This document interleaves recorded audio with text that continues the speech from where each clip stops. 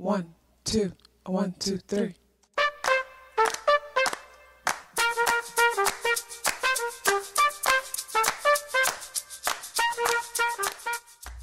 Self awareness is a superpower. My name is Kathy LaDonna. Welcome to Soul In Vibration.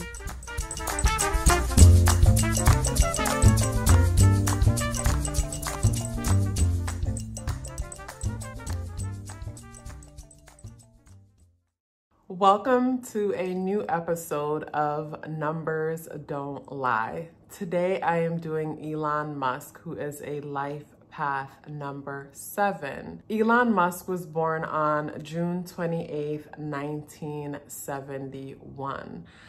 As a life path number seven and a birthday number one, birthday number one because the number 28 adds up and reduced to the number one.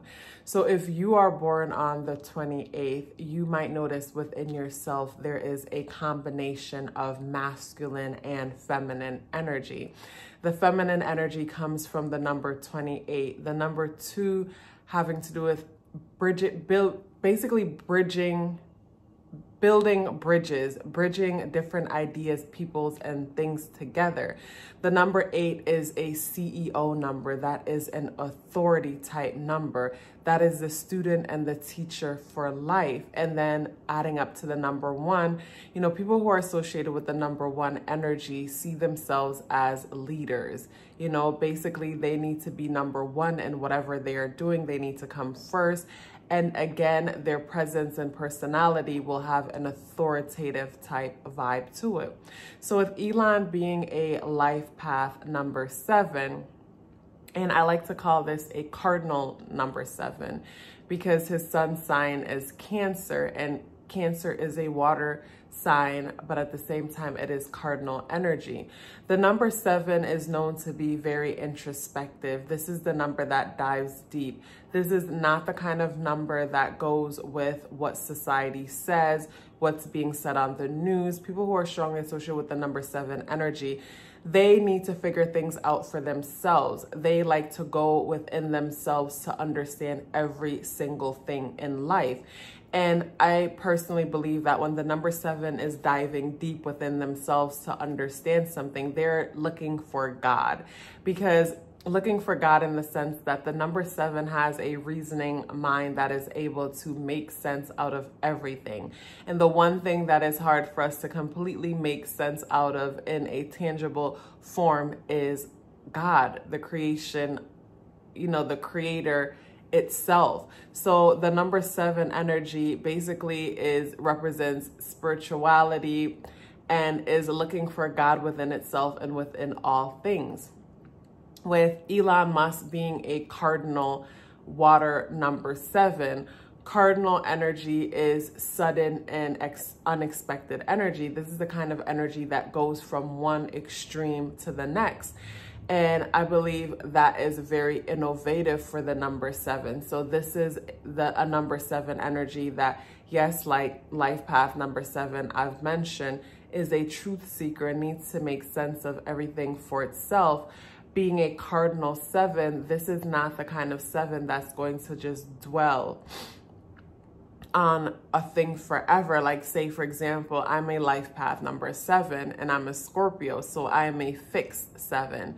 So whenever it is, whenever I'm focusing on something, I stay locked on that thing for a while until I until I completely understand it. Sometimes I dive so deep into the rabbit hole that I have to fish myself out. Like I have to throw a rope in and grab my other self out.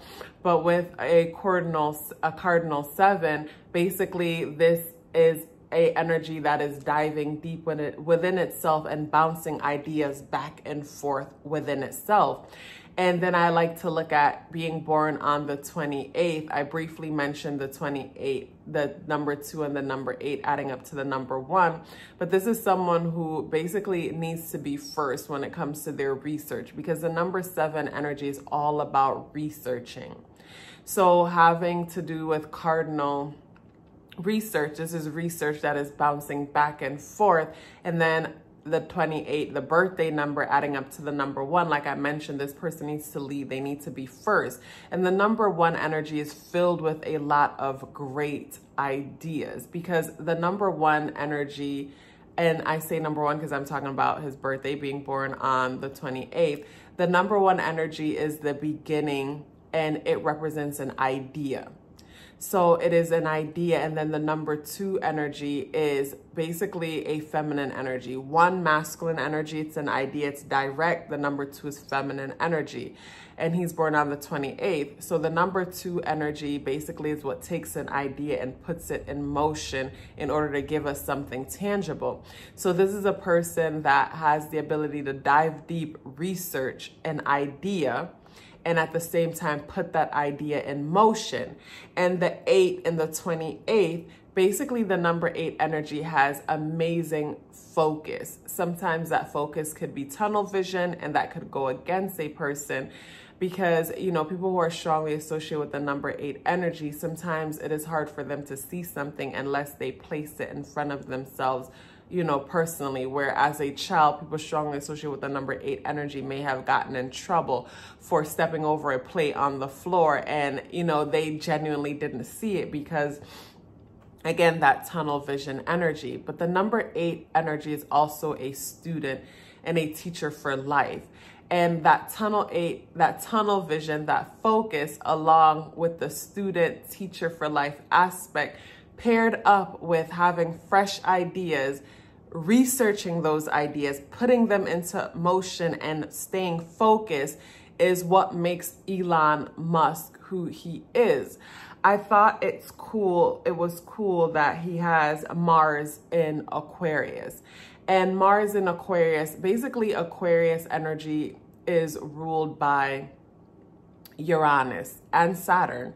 Saturn, the original ruler, and then Uranus, the new ruler. But I like to look at both because Saturn gives us a sense of a need for discipline and at the same time a sense of responsibility for our community. Even though Aquarians do not feel understood by their community, they feel a sense of responsibility. But the Uranus energy that rules Aquarian energy, it's like, I like to describe it as basically it's like a jet. It's like a, yeah, it's like a jet going from our earth into different, into space, different realms and realities where um, uh, Uranus energy rules our higher mind. It's like the higher octane of Mercury. Mercury rules over Gemini and Virgo. Mercury energy is like us having regular conversations about everyday topics and things like that. It's like a plane flying only so high, where Uranus energy is a jet that basically flies far above where the plane flies and goes into other realms and dimensions and things like that.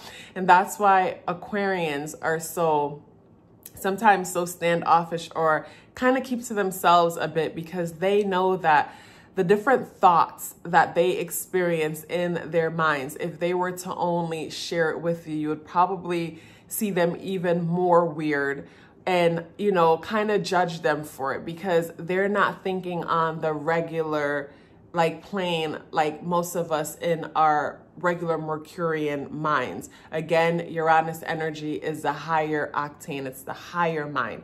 We all have a Uranus energy within our chart somewhere, like we all have Aquarian energy within our chart somewhere. It's a matter of figuring out where it is, and you might be able to know where it is just by the fact that you rebel. Whatever it is that you like Uranian energy, like Aquarian energy, rebels for the sake of rebelling a lot of the times. And it is through rebelling where innovation is born. That's where we separate ourselves from the old way of doing things and come up with new and innovative way of doing things. So yes, rebelling creates innovation, but sometimes we rebel for the sake of rebelling and that can go against us. So just observing the things that you rebel against for the sake of rebelling is probably where Aquarius or Uranian energy is in your chart. And it also shows where you have the opportunity to create something that has never been seen before. So yeah, Elon has Mars in Aquarius. So that means his approach to things is one that is a bit unorthodox. So this is a life path number seven that is unorthodox and all of us who are sevens can relate to the fact that we don't approach things the way how others expect us to that is what makes us so different and a bit of an outcast or seem a little bit weird or aloof because the number seven energy could be a bit snobbish to other people who are looking in. Because again, this is not the number that is going to want to see what the media has to say about something or what the news has to say about something. Like this is the number that is able to say, okay, you know, if and if 30 years ago they were impregnating certain follicles within the sky to make it rain, then it is more than possible for them to manipulate weather right now and create you know, whatever it is they want to create, wherever they want to create it, where someone else might say, science hasn't proven that yet. That's not a fact. Where a seven person, they're going to go within themselves. Like the mind of a seven person reminds me of like the different gadgets within a watch, how they're constantly turning and connecting with each other. So yeah, with Elon having Mars in Aquarius, his approach to everything is to be different. Like it might not be intentional. If you have Mars in Aquarius, you know that you are passionate about being unique. You are passionate about being unorthodox. Like you get a kick out of doing things different. And in the process of you doing things different, you create brand new things that you know others have never seen before. And in the process of creating things that others have never seen before basically there is a sense of humanitarianism to it. Because with Elon and his cars that he creates like they're supposed to be environmental friendly. So that there you can see where rebelling creates innovation and at the same time there's humanitarianism from the whole Saturn feeling responsible for the collective and the Uranian energy, the need to rebel and bring in a higher mind, a different way of thinking and being. So yeah, this is a life path number seven. And I danced around with this one because I wanted to, I wanted you guys to see how different elements, you know, different placements in our chart have a big part to um, a, a big part to do with like how that number seven will play out in the world. Like something I didn't, uh, that I didn't mention with Elon having his sun in Cancer and Cancer being ruled by the moon the moon energy is such a psychic and intuitive energy. And the number seven energy also rules the crown chakra. So people who are associated with the number seven, like life path number seven, like lightning, like Uranian energy, you just know things, you know, and then the moon energy has to do with our emotions and our ability to pick up on basically things that is hidden within our subconscious mind or just hidden within this realm from our ego, our ability to identify with things, we're able to just pick up on things. So here you have someone who is not just a scientist, someone who is not just a concrete thinker with the number eight being born on the 28th, but someone who also taps into different realms and reality being ruled by the moon energy. So yeah, this is someone that is basically will identify with being an extraterrestrial because having Mars in having Mars in Aquarius and having that Uranian energy motivating your actions and life path seven automatically going within and diving deep down the rabbit hole that exists within that will guide us to the universe, to God, to creations, and all things that cannot be seen with the eye. And then the moon energy that's able to feel everything. And then that water energy, moon and water energy, strong intuitive abilities all coming together to, you know, express itself through this person who we see as Elon Musk. If you guys have seen my other videos about numbers don't lie and like the way how I jumped around in this one and included other aspects so that you can relate. If you are not a life path seven, maybe you are a Cancer energy and you can relate to the cardinal explanation that I gave about Cancer or Aquarius or birthday number 28 so you can relate to you know being nurturing like the number two energy and being a teacher and an authority figure like the number eight energy and also being masculine and a leader adding up to the number one. You know let me know like what do you think about me incorporating the different aspects to show you that Yes, all signs aren't created equal. All numbers are not created equal. If you guys are still here with me, drop me a green heart in the comment box below. I would love to hear from you. Love yourself as if your life depended on it because it does. Take care of yourself and I look forward to seeing you in the next video.